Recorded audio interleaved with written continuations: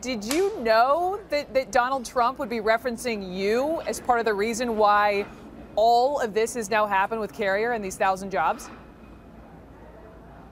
No, I had no idea.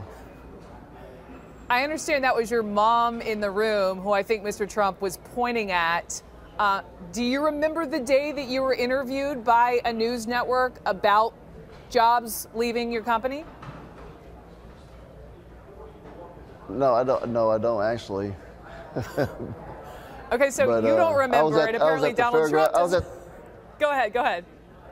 I was at the fairground rally. I was at the fairground rally when he uh, asked was any uh, carrier employees there, and I shouted, "You know, we're right here." It was me and uh, Derek Cheney, and uh, he asked me, you know, you know, how do you feel about them leaving and all that, and I- you know, and I was pretty uh, upset about it, and told him how I felt, and uh, he pretty much promised me that they were going to leave.